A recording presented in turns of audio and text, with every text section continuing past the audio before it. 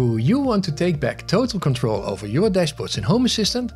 With the tips in this Home Assistant tutorial, you will be able to create a dashboard layout exactly the way you want it to be. The custom layout card integration makes it possible to show cards horizontally, vertically and in a grid.